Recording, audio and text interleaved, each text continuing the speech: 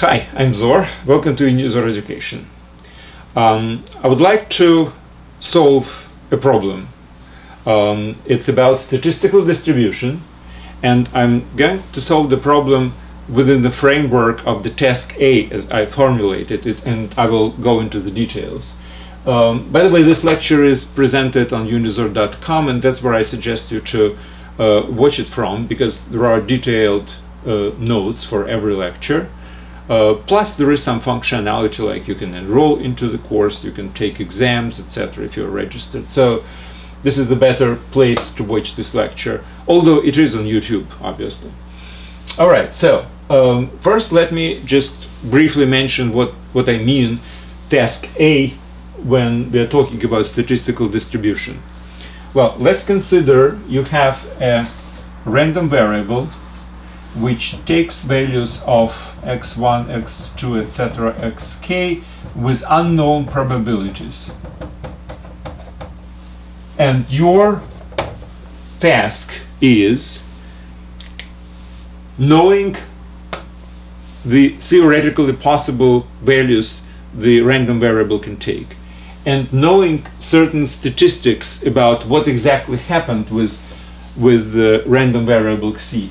For instance, it took the value x1 certain number of times, x2 certain number of times, and xa certain number of times. We made n experiments,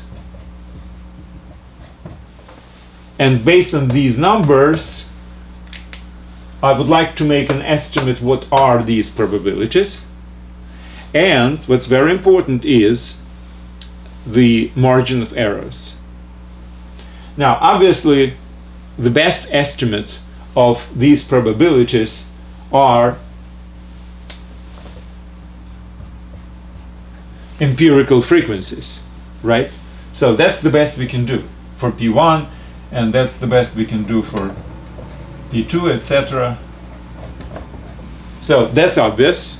Now, the next thing is to evaluate the margin of errors and where exactly our real probabilities are relative to empirical frequencies. And I'm going to solve this problem based on a concrete problem which I'm going to specify right now. So here is the problem. Let's consider that in some country we have elections.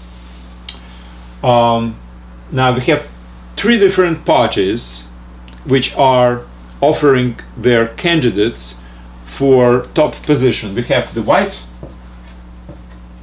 party, we have the blue party, and we have the red party. So each one has candidates, right? These are candidates. And then people basically vote each one um, uh, each person in the country vote for somebody who uh, this particular person prefers to see at the top. Now, we have three positions. We have the president, we have the vice president, and we have minister of defense or defense minister, okay? So, these three people will take these three positions based on whoever gets most uh, votes will be the president, the next one will be the vice president, and the third out of these three will take the defense minister's portfolio. Now, our task, statistical task, before the, uh, the real uh, election start, started, uh, is to evaluate the chances of each of the parties, right? So our purpose is to make certain predictions for elections based on certain statistical results. So here are statistical results. There was a survey of 4,000 people out of these 4,000 people, 1480 said that they prefer the pre uh, they, they, prefer um, the white party candidate. 1320 prefer the blue party uh, uh, representative, and 1200 uh, suggested that they would prefer the representative of the red party. Now, the first problem, what are the chances or what are the probabilities uh, for each of those guys to, uh, to have the top position? It's obvious. It's 1480 divided by 400 for the white party, which is 0.37. So that's the probability of the white party candidate to become the president. Now, for the blue party, we have obviously 1320 divided by 4000, which is 0.33. And for the red party, the probability of the red party candidate to become the president is 0.30.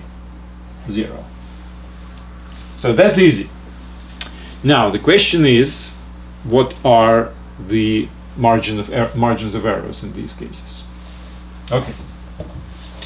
Here is how we can calculate that.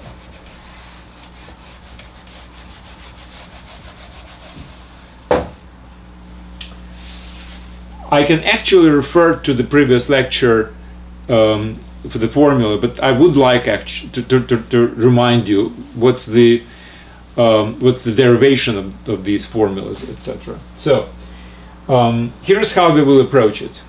Let's introduce a new variable, random variable, beta, which is equal to 1 or 0.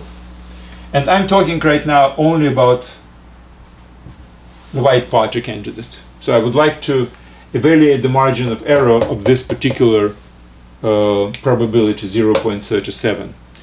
So um, I'm introducing new variable beta, which for each out of 4,000 person um, would represent one if uh, if this person votes for W, and zero if it's uh, not W.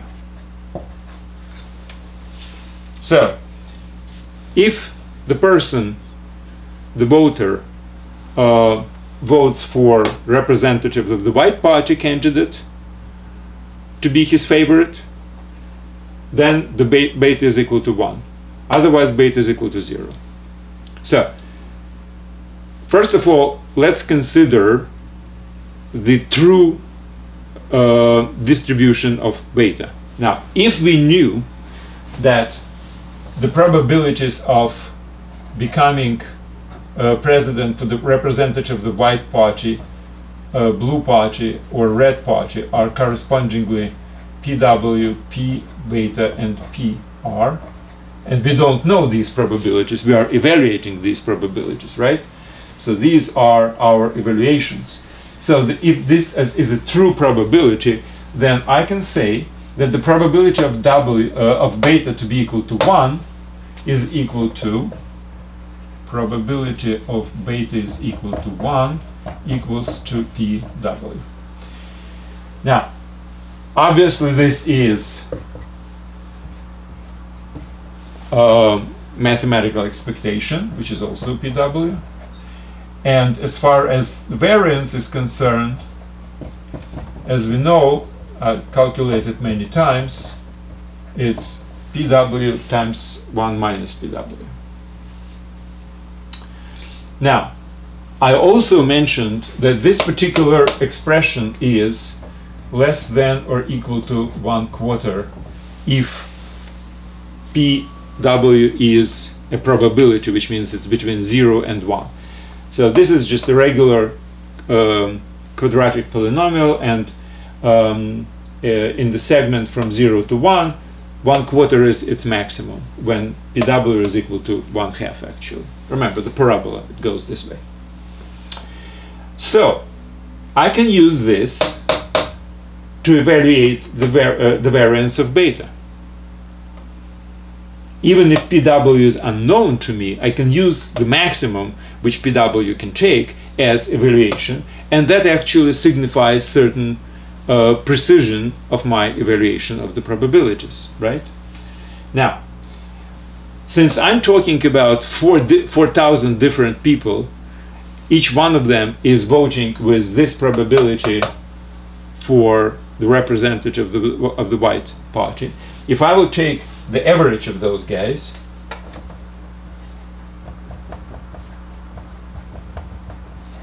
so I have 4,000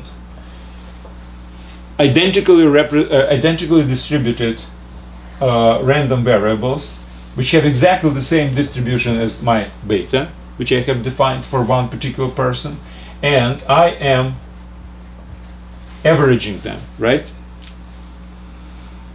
Now, what is this? This is actually one experiment which gave me 14,080, right? Divided by 4,000. So this is my 0.37 evaluation because 14 1480 of these are ones, right? And the rest are zeros. So basically this is a random variable which I basically made an experiment once and got the value 0.37. It's a new variable if you wish. Now, what is the expectation of this variable? Obviously, it's the same as expectation of this right? Because expectation is added together and these are all the same so it's 4,000 of them divided by 4,000 still the same. But the variance of this is obviously less. The variance of eta is uh, pw times 1 minus pw divided by 4,000 remember that the average of identically distributed independent variables is you have to actually you have to factor out this in square and then there are 4,000 of them so that would be the result.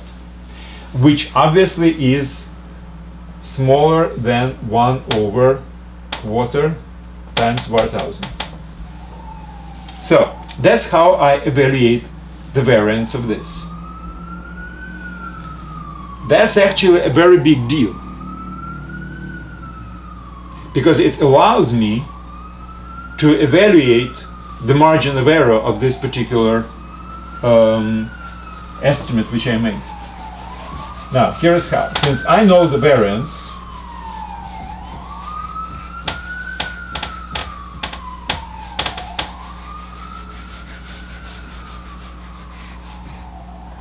since I know the variance, I obviously know uh, standard deviation.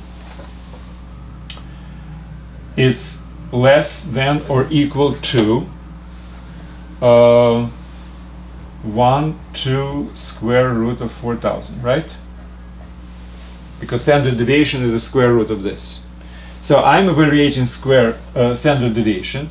Now, if I would like to do my evaluation with 95% certainty, which is kind of standard, this is actually an interval which is equal to 2 sigma from the uh, from the midpoint, right? Midpoint is this one, and 2 sigma is 1 over uh, square root of 4000 which is approximately, I have it somewhere, uh, 0.0158. So that's my margin of error for this particular number.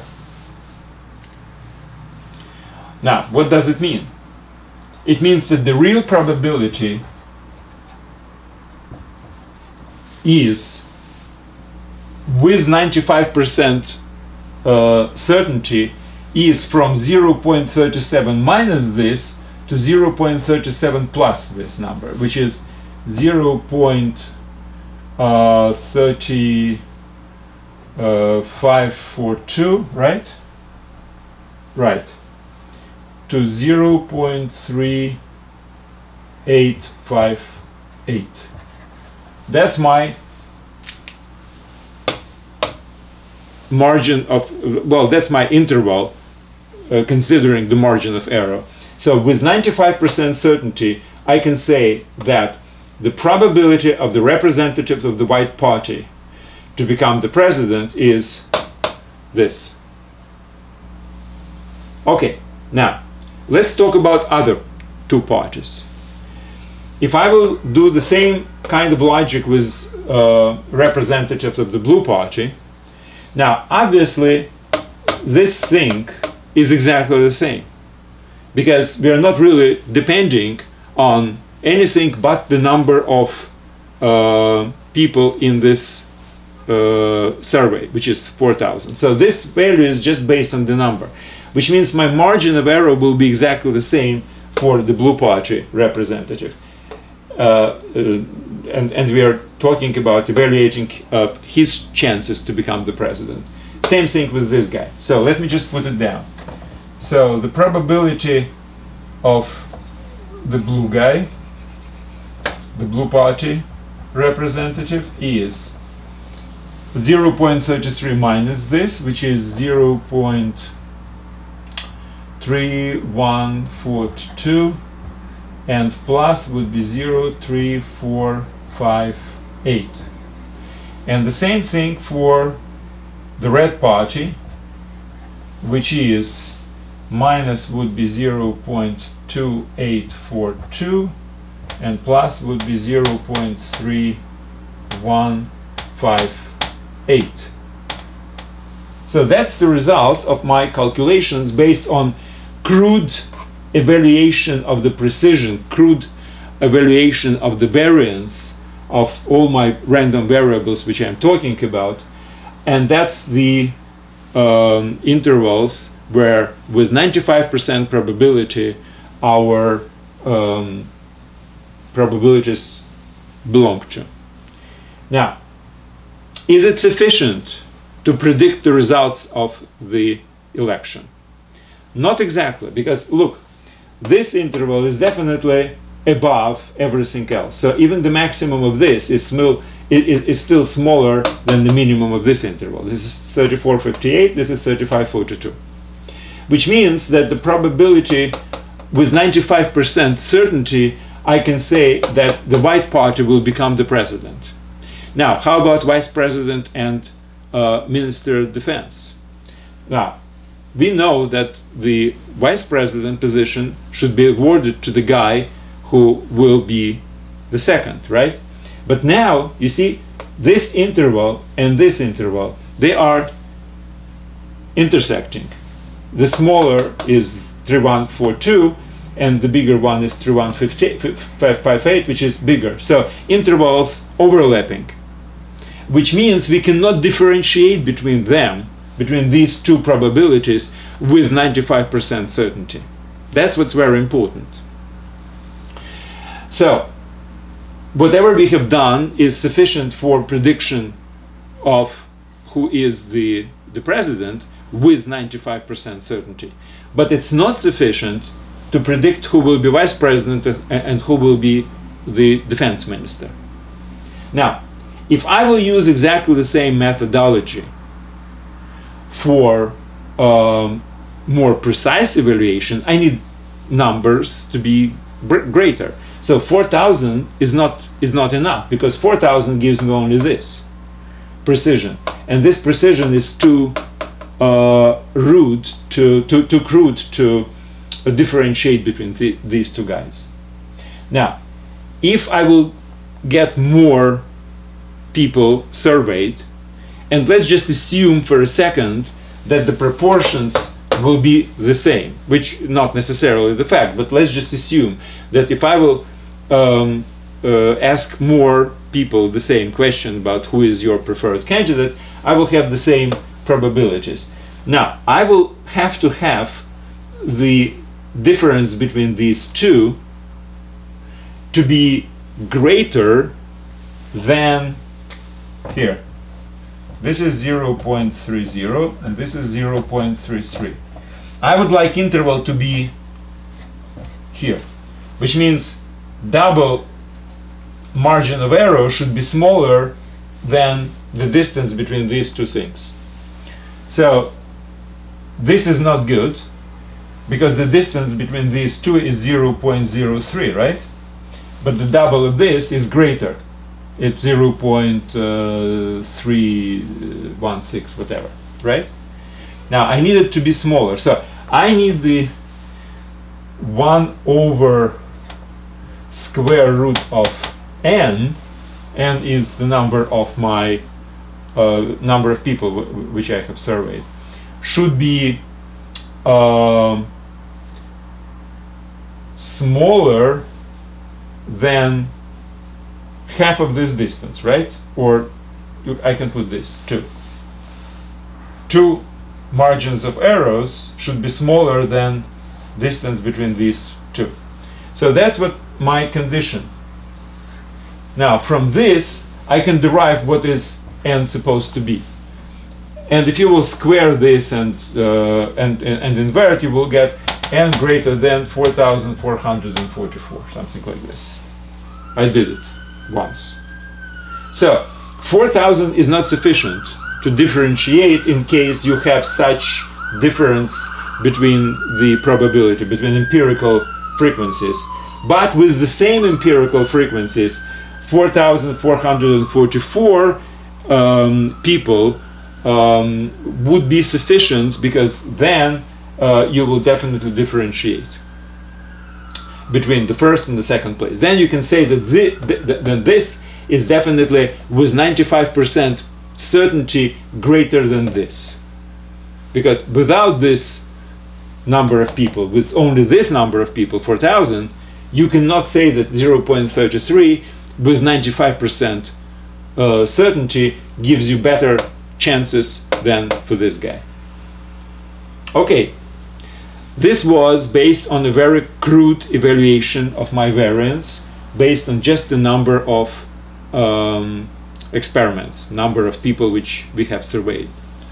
Now, there is a better way. Now, we were talking about sample variance, which is slightly better than this um, maximum which I have just used. And let's do this same calculations based on sample variance, because that's how practical people actually do in cases like this. Now, what's good and what's bad about sample variance? Well, the good is that it gives you a little bit better precision of the variance. The bad thing about sample variance is that it introduces certain additional element of uncertainty, however small it is. So, let's do that. So instead of calculating um, for this variable beta that its variance just less than or equal to one quarter, I would like to evaluate it better. Now, how can I do it? Well, to better evaluate this particular um, variance, I will use the sample variance, which means sample variance is uh, the what, what is variance? Variance is average of square of deviation, right? So let's just do this uh, average of square of deviations. We will use the following thing. Um, this particular variable, if you remember, we had for white, blue, and uh, and red these statistics out of 4,000 right? These are preferable numbers. So this variable random variable beta which is equal to 1 if the person uh, chose the white party candidate and uh, 0 otherwise. So in 1480 cases my variable beta took value of 1 and its deviation from uh, its um, empirical frequency square is this and the rest out of 4000 the rest is what 25, 20. It took value 0. And if you remember, I have to divide it not by 4,000, but 3,999 to make this evaluation of my variance unbiased. Again, if somebody doesn't remember where I got 3999, just go to a previous lecture where I'm talking about um, uh, this sample variance. And I have the value of this, I guess, somewhere, which is 0.2331. Now, is it better than this? Yes, it is. This is 0.25. This is 0.2331, which is slightly less. So, what I can say is that sample variance, in this particular case at least, um, although it does give you a little bit more precise evaluation of variance, which means your interval where your real probability will be around its um, uh, empirical frequency would be narrower, which is good because it, it, it allows you to to distinguish different probabilities for different parties a little bit more precisely. So maybe this is even sufficient to differentiate between three um, candidates because this crude variation was not sufficient to distinguish between the vice president and the defense minister, right? Between blue and, and, and red. Maybe this one will be. All right, so what I can say is that this 0.37 um, can use this particular variance and that's a little bit better than this. Now this is the variance of beta, right? Now we are talking about beta 1 plus etc plus beta 4000 divided by 4000, right? This is the average uh, of 4,000 different random variables, each for uh, individual who was surveyed, which means my variance of this, so variance of the estimate, so if this divided by 4,000 is 0.37, right? So this is my um, empirical frequency. So the variance of this would be 0.2331 divided by 4000 okay and from this I can extract square root and it will be my standard deviation. Sigma and 2 sigma which I need for 95% um, margin of error, 95% certainty that my mar margin of error is good, would be in this particular case 0.0153. Okay, it's a little bit better than before. Before I get uh, 0.158 for all three different candidates. Now for the first candidate I've got this margin which makes me thinking that I have a slightly narrower real interval where I can evaluate my probability. So my PW would be from 0 0.37 uh, minus this, it's 35.47, right? okay I didn't write it down. And 0 0.3853 okay got that now if you remember with the crude methodology I didn't really have to calculate separately the probabilities and margins of error for these two guys now I have to because I have to take into consideration exact statistics which happened to evaluate my variance. So exactly the same evaluation of 2 sigma for blue gives me 0.049 149 149 and evaluation for the red guy would give me 0.0145 so I have different numbers as you see for different people right now because it's not only dependent on as I said not only from dependent on the number of people we survey, survey but also on exact statistics which allows us to say that the for blue party to become the president the probability is this is 0.33 and 0.30 if you divide by 4000 so that would be from 0.3 33 minus this. So it's 3351 and 3449 and for the probability of the red party candidate to become the president is 0 uh, 0.2855 0 0.30 minus this and 0 0.3145 and now look what's important now. The maximum of this guy is less than the minimum of this guy Oh, sorry. Yeah, that's something like this. No, no, no, no. Wait a moment. I'm wrong here. 33 minus, so 31. Yes. Right. Now that's right. So, um, which means that these intervals are not intersecting anymore. They're not overlapping.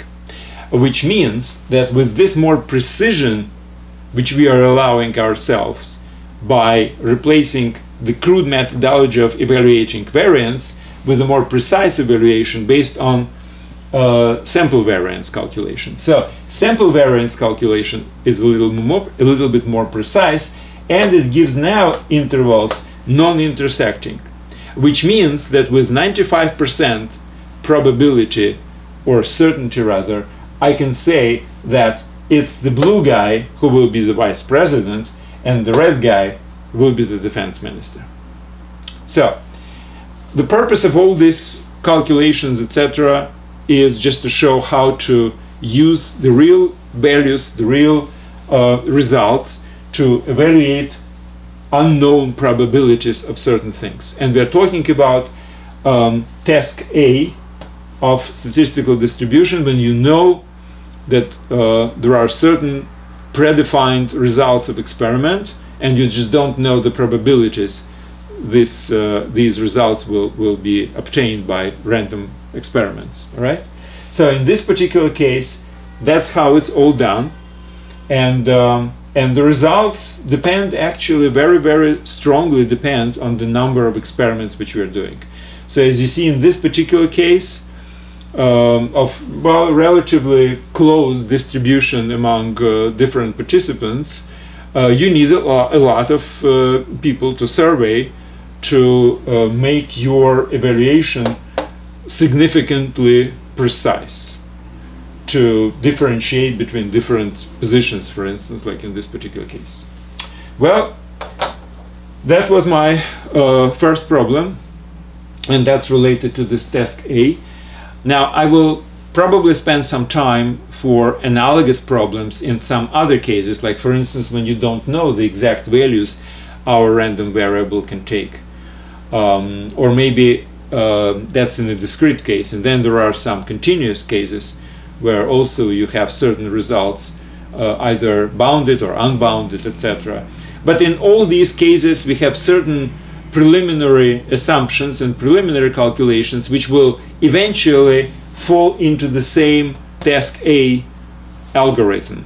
So it's very important to understand how all these manipulations are done in this particular case because all other three cases which I have tasks B, C and D um, will basically follow the same logic and I will spend much less amount of time to present them. Now I do suggest you to read the notes for this lecture again and what will be even great uh, greater even than just to read my notes if you can just forget about whatever you saw on the screen right now, uh, try to do the same calculations yourself. And if you will come up with certain, um, you know, certain the same numbers will be would, would, be, would be great. Uh, if you don't, think about who made the mistake. Maybe I made a mistake. All right, that's it for today. Thank you very much, and good luck.